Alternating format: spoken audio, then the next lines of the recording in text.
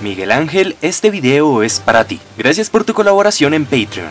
Recuerden que donando en esta plataforma podrán elegir temas de futuros videos entre más recompensas. Les dejo el enlace en la descripción. Hoy venimos a hablar de los monstruos Gandora, unos dragones de oscuridad que comparten el nivel 8, además de efectos con algunas similitudes que se enfocan en terminar el duelo por OTK en la mayoría de situaciones, adquiriendo cantidades masivas de ataque que podremos usar para acabar el duelo. Estos monstruos son conocidos por la participación de Gandora, el dragón de la destrucción, en el anime de Duel Monsters, siendo usado por Yugimuto para acabar con Bakura. Gracias a dicha aparición en el anime, se hizo muy reconocido y amado también por su potente efecto y su increíble diseño. Diseños que en lo personal me molan un huevo. Con el tiempo recibimos dos monstruos Gandora más, sin embargo, uno de ellos solo está en OCG por el momento y el otro fue baneado recientemente de la lista de OCG, por sus cochinísimos combos de FTK que llegaban a causar daños de más de 100.000 en el primer turno, con ayuda de los War Dragon, Saryuya y de Quimax, entre otros monstruos combo como los Danger y demás.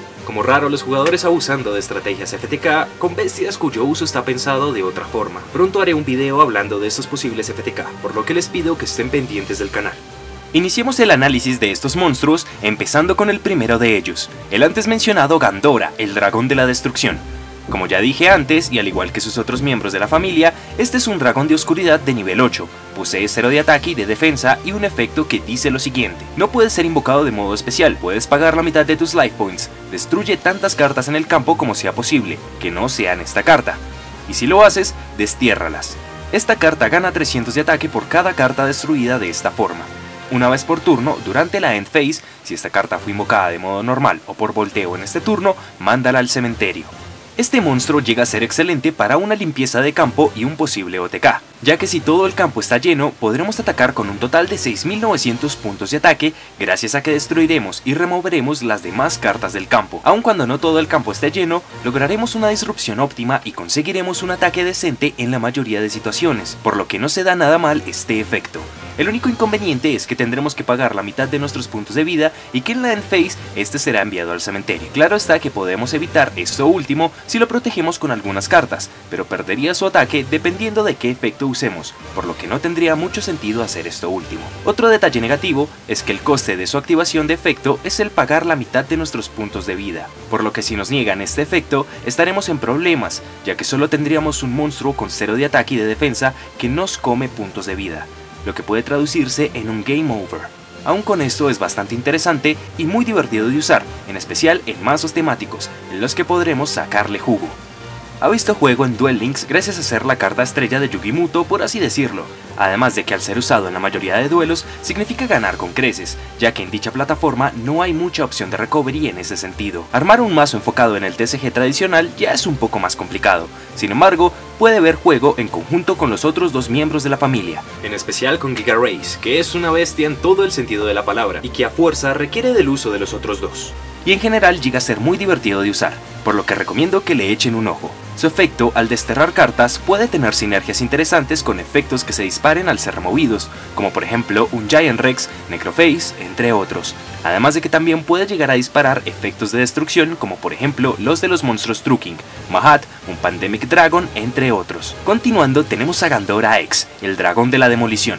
Este monstruo comparte las mismas características que los demás de la familia y posee un efecto que dice, cuando esta carta es invocada de modo normal o especial desde la mano, puedes destruir tantos otros monstruos en el campo como sea posible, y si lo haces, inflige daño a tu adversario igual al ataque original más alto en el campo entre aquellos monstruos destruidos. Si hay empate, eliges tú.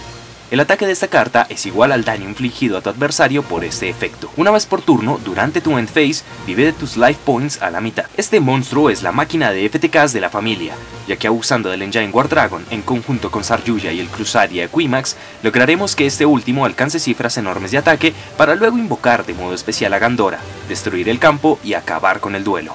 Gracias a esta fácil capacidad de ganar, el monstruo fue recientemente baneado en la lista de OCG, lo que deja un poco fuera de juego al siguiente monstruo de la lista. Sin embargo, él sigue libre aquí en TCG, por lo que podremos usarlo si así lo queremos. Viendo ya sus capacidades como tal, el monstruo es excelente, ya que no solo causa daño de efecto apenas caer, sino que también logra conseguir un ataque decente si hay monstruos poderosos en el campo. Sin embargo, posee las mismas debilidades que los otros dos, ya que si le niegan su efecto perderá utilidad, y en la End Phase posee otro efecto negativo, que esta vez hará que nuestros puntos de vida sean divididos a la mitad. El otro detalle con esta bestia es que muy al contrario que el anterior, este solo destruye, no remueve, lo que nos da capacidad de juego en cementerio si tenemos las piezas necesarias, además de que tiene sinergia con los dragones Light Pulsar y el Darkness Metal Drag, ya que si traemos a Light Pulsar al campo y tenemos al Darkness Metal al momento de la activación del efecto de Gandora, lograremos causar 2800 de daño a la par que traeremos de vuelta a ambos monstruos gracias al efecto de Light Pulsar del cementerio reviviendo al Darkness Meral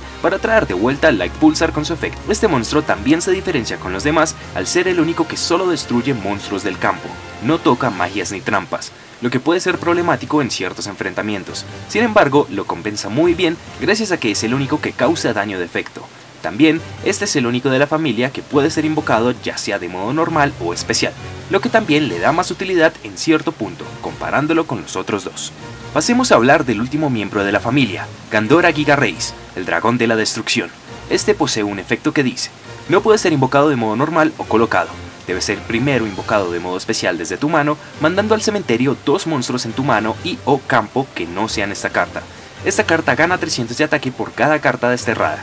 Una vez por turno, puedes pagar la mitad de tus life points. Aplica este efecto dependiendo de la cantidad de monstruos Gandora con nombres diferentes en tu cementerio en este momento. 1. Destruye todas las cartas en el campo que no sean esta carta.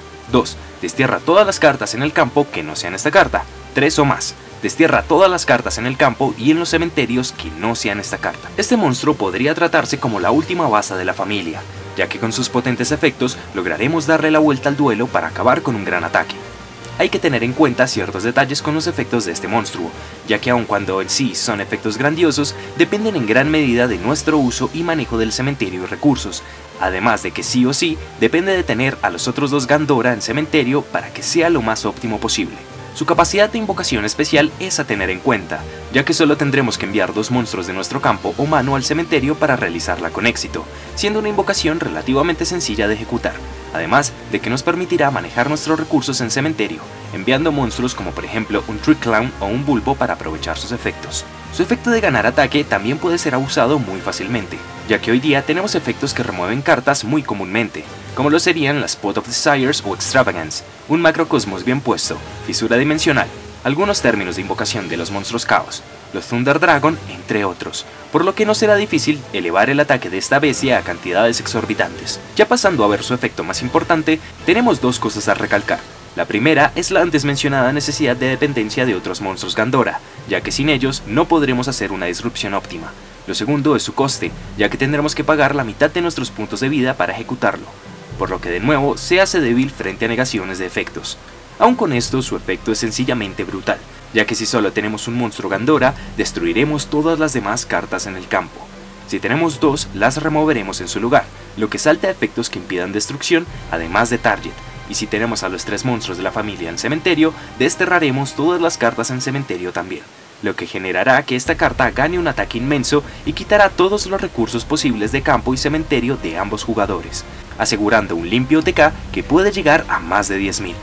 En general, este monstruo es el más útil de los tres a mi parecer, ya que aparte de que gana ataque fácilmente, podremos invocarlo de modo especial de forma sencilla, y este es el único de la familia que no posee un efecto negativo en la End Phase, por lo que podremos usarlo como queramos ya sea como un increíble atacante físico, como material de invocación o como limpiador de campo. Lástima que esta bestia esté solo en OCG, ¿no? Ya habiendo visto a los miembros de la familia, pasemos a ver aquellas cartas que los pueden soportear. Empezando, tenemos que pueden ser buscados fácilmente con cartas como Magical Contract Door, que aun cuando nos quita una magia de la mano para dársela al adversario, nos permitirá buscar a cualquiera de los Gandora inmediatamente.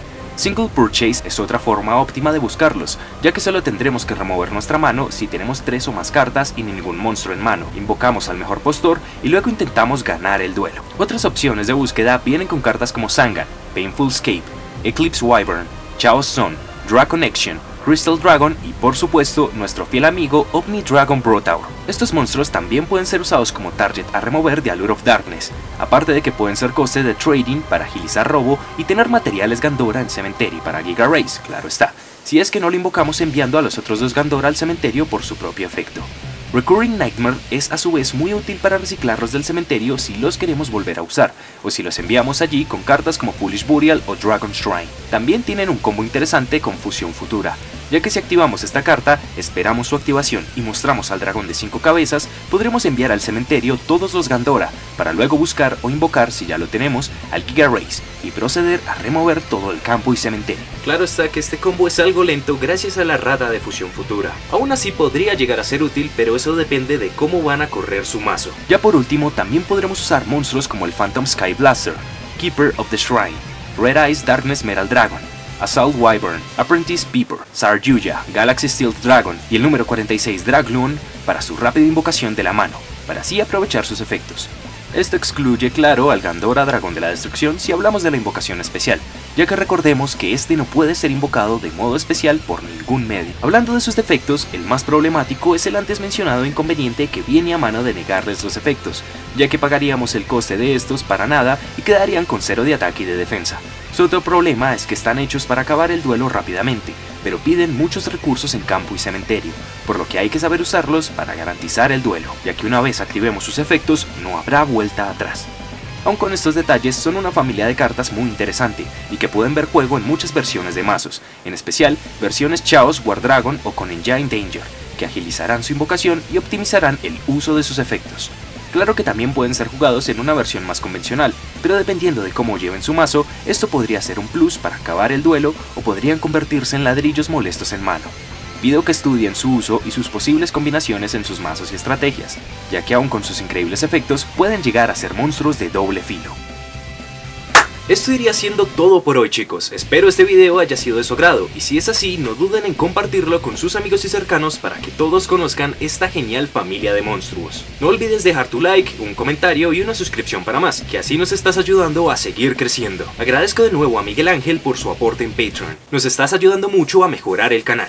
En la descripción te dejo los enlaces a nuestras redes sociales y demás para que nos sigan, además del canal de Blue para que vean su divertido contenido, y también nuestro Patreon por si deseas aportar algo. Un saludo enorme y nos vemos en la próxima. ¡Hasta luego!